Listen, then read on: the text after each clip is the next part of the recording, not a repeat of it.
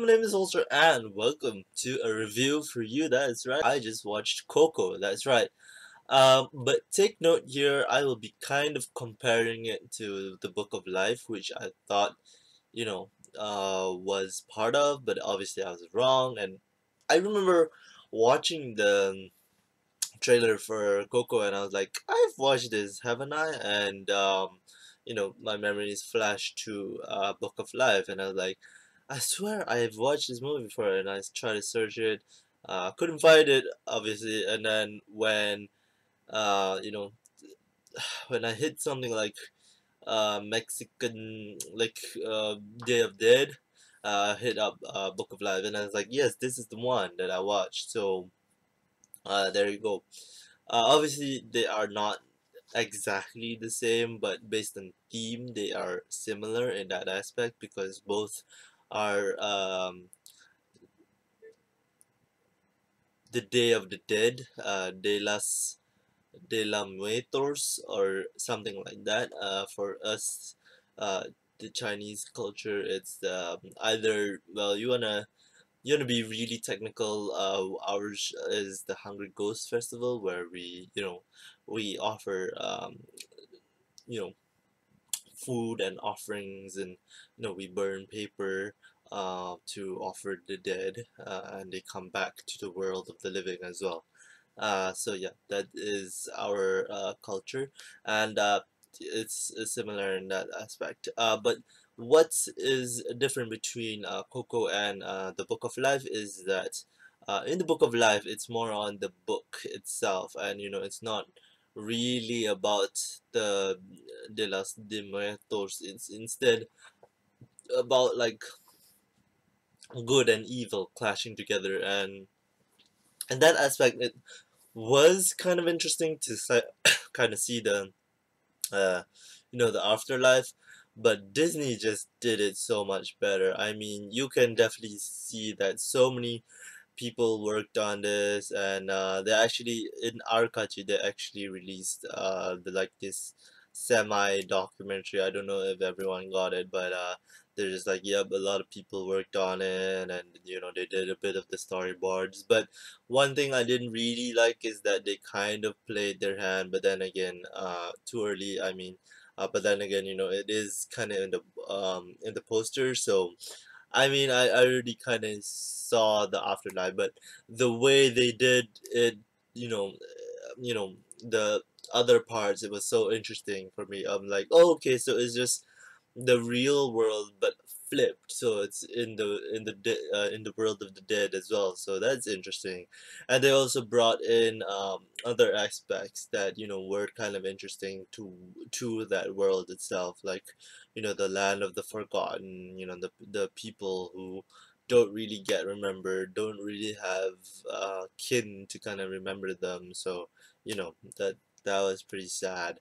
Um but yeah uh the only thing I have to say is like the first two acts is kind of you know run of the mill. Um, I would I would say that I I am confident in that because you know it's the the kid who has dreams and you know is stopped by his family because you know um family is everything and um obviously you know there is some traditions it's very asian centric it's very you know these type of third world countries i think a lot of us have experienced it. I think if you go ask like um you know the black culture the chinese culture the indian culture they'll say yep we we know this these type of family because we grew up in those families. Uh, maybe you know for for other uh, cultures I don't know if you can um, if you can you know relate too much but I definitely related too much because you know it's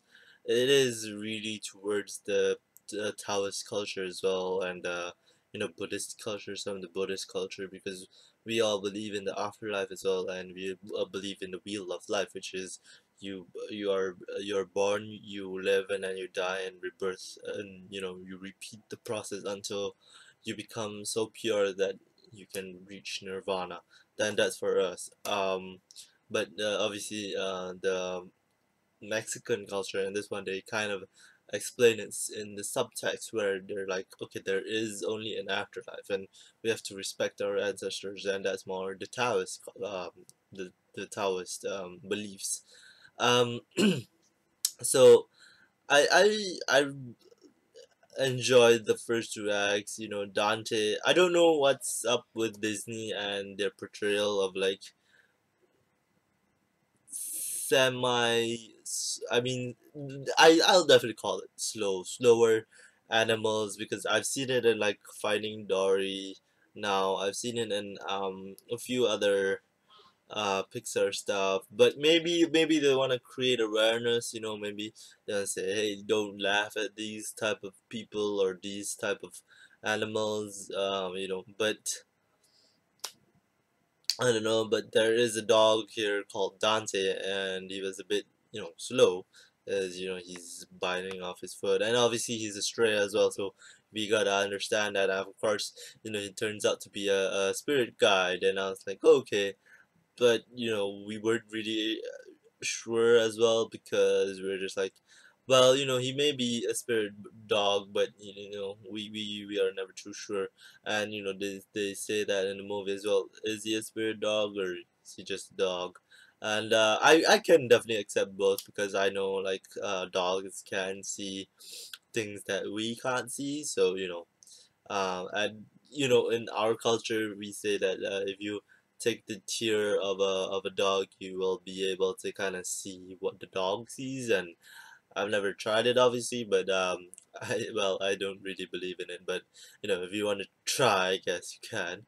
Um, but yeah, um, I definitely can say I kind of guessed the twist, but not in a really really big way. It's just like okay, it's it's there. The clues are there for you to kind of pick up and you know bite on it and kind of say, well, you know, it seems too perfect that you know Ernesto de la Cruz is his grandfather, and then the twist comes. So you're just like, okay, there you go. That was a twist. Um, but yeah, um, you know, the first big clue is that you know, uh, Hector does sit down with um, with Hector. No, uh, sorry, Hector sits down with uh, the protagonist, which is Miguel, and talks about uh, how Ernesto and him were close friends and how you know uh, he taught him music and everything and let him see all his musical stuff. So you know that was the first big uh, big clue for me. Um, but my god, man, the animation, man, I I'm just so at all at the animation in this, especially the water in this one. And I know a lot of people were like, well, you know, Good Dinosaur was the first one with the photorealistic uh water, but and Moana also had photorealistic water, and of course, you know, they did it better than the Good Dinosaur uh, in Moana. But I'm saying that Coco perfected it. I'm just like, oh my god, that's real water. Like that is like legit. Like and the water coming coming off of his uh, shirt and everything. I'm just like jacket and everything. I'm just like, oh my god, and they did the fading effect so well. I'm just like, that is sex right there. I'm just like, I can't I can't stop looking at it because it's so perfect. You can't see the grains that is obviously there. I my brain is like there should be grains, but I can't see it. Is awesome. Okay, and so I'm just really really happy that like this animated movie is being accepted well as well and it's such a shame that some people don't get into animation. You know, my my my dad doesn't really get into animation. My elder sister doesn't really get into animation.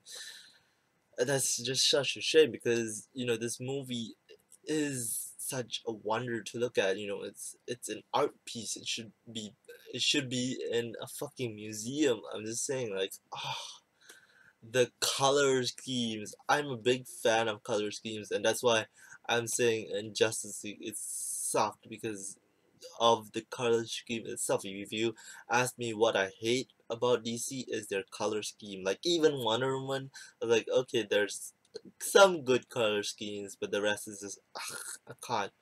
Um, you know, Guardians of the Galaxy is kind of mixed, but obviously I preferred the second one because that was more, uh, you know, evened out, and I was like, okay, that that's cool.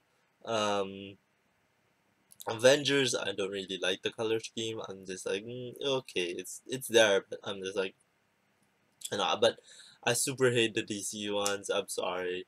Uh, the only one I kind of really liked, I thought kind of really worked was the Dark Knight and the Batman Begins, and even Dark Knight Rises. I was like, okay, the color scheme is really well done because it's like bright and then it's going to darkness and then it's coming to bright again. So there you go. Um,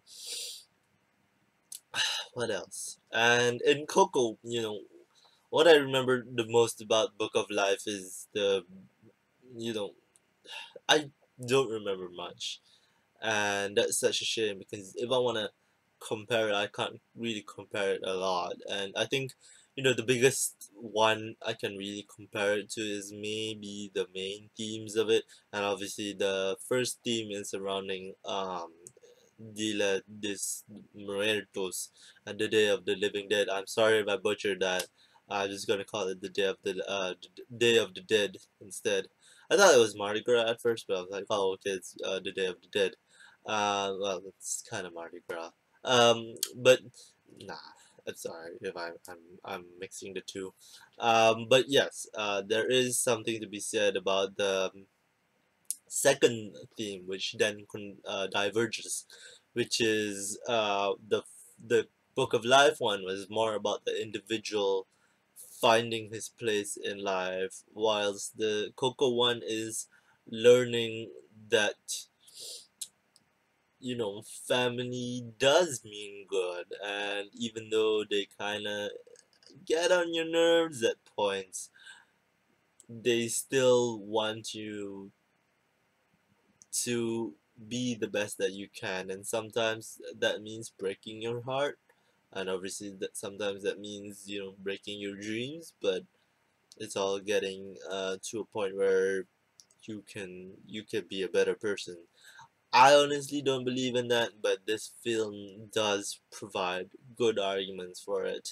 Uh, and obviously I didn't really like the third act. I'm sorry but I just didn't really like the fact that you know the the um, family just immediately embraces music just because uh, Coco got her memory back, and that's a bit of a that's a bit of a MacGuffin Deus Ex Machina for me because the guitar was a MacGuffin at the end of the day, and I was like, yeah, ah, fuck. I, I kind of knew it was gonna be a MacGuffin, and I was like, God, it's gotta be a MacGuffin even more when the third and the third act hit. And you know, I kind of forgot that uh, about the guitar as well. So I'm just looking back and kind of just thinking of things to nitpick. But the one thing I wished it did a little bit better was the explanation of the the getting you know used to the music and all that and embracement of the music. But i guess it's in there in some text somewhere but it was just kind of lost on me. So i don't i don't really really hate it. I just you know i just felt like the part where you know he miguel tries to push his grandma to remember hector i thought it could have been you know him just remembering hey there there's a song like a flashback of hector saying i sung the song to my uh, daughter because they did the, the flashback with Hector so I thought that they could reintegrate that in the end and then only uh you know um the uh Coco's daughter uh which is the abuelita of uh Miguel uh you know say you know but we still discourage music here uh, and then he goes on to say, "I don't, I don't mind because I finally found my place in the family." And then only slowly, you know, in the next few years that they start to maybe start to accept it little by little because maybe you know whenever the spirits come they hear a little bell here and there and then some music starts to play and then you know maybe the more and more you know they could have done it so much more creatively but I think they already kind of spent a lot of the money in the beginning because they did uh, uh, wayang kulit uh, what we call in Malaysia but uh, what you understand in America and all these other places is shadow puppets. Uh, but they don't really do it in a shadow puppet form. They do it in a cloth shadow puppet form. So I thought that was really cool as well because I was just like, wow, that's so awesome to see like kind of like stop motion with shadow puppets because I'm like, that is fucking awesome. Okay. Um I think I think this might be in my top five of Pixar movie because uh, you know number one is uh, Inside Out for me. Number two is, is kind of Zootopia. Number three maybe uh, maybe WALL-E for me because I really love the environment. Number four might be Coco. Might be Coco, and number five would be Up now. Uh, not to say I didn't really like uh, but yeah, I think you know, Coco is up there, top four, top five, yeah. Um, number six would be, I guess, the Toy Story trilogies, um, and you know maybe the plus one as well. Um, and then like Monsters Inc. is number six. Uh, not that I hate Monsters Inc. I just feel like the Toy Story one just holds like more heart to me because like the first two ones I was like yeah but the third one didn't really hold anything because you know I didn't feel as you know heavy uh, to my toys but my cartoons yes because when I'm when my family cut my cartoon that was the day like, oh shit I can't watch cartoons anymore. Cries you know. Um yeah and I still think Inside Out is the best one, but Coco may climb the climb the ladder here because it may it may even surpass uh, Zootopia, and I was like, you know, Zootopia was really good, and I thought, you know, it it'd be hard to to top Zootopia, and uh, I just read up on this that uh, Book of Life won Best Animated Movie in uh 2012 2014 somewhere around there.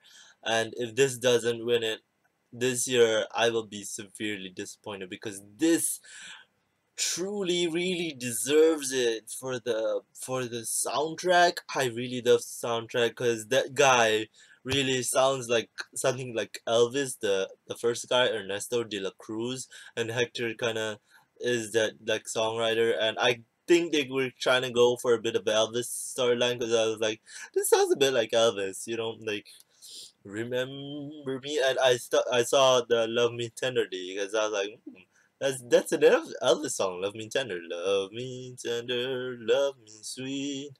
Um, but uh, yeah, I thought that that this movie was really really awesome. Uh, albeit some flaws I had with it. Some of the pacing in the front two acts, I was like, yeah, you could have done this a little bit better, a little bit faster. But obviously, they wanted to build the the, the family dynamics up, which I was fine with. I was like, okay, then for the kids as well. Um, so yeah, I'd give this movie an 8 out of 10. Thank you guys so much for watching. Uh, if you like this, please leave a like. And if you want to see more, please hit the subscribe button. And remember to hit the bell because YouTube loves to unsubscribe uh, people nowadays. And the bell is a surefire way of you be still unsubscribe to me. And also remember that subscription means that you're a loyal Walterist. Thank you so much for watching and remember to share my videos, share the love, and make me at the top of the trending page so that you can see more of me. You can see me at the click of a button. Uh, thank you so much again. I will see you guys in the next video. Bye.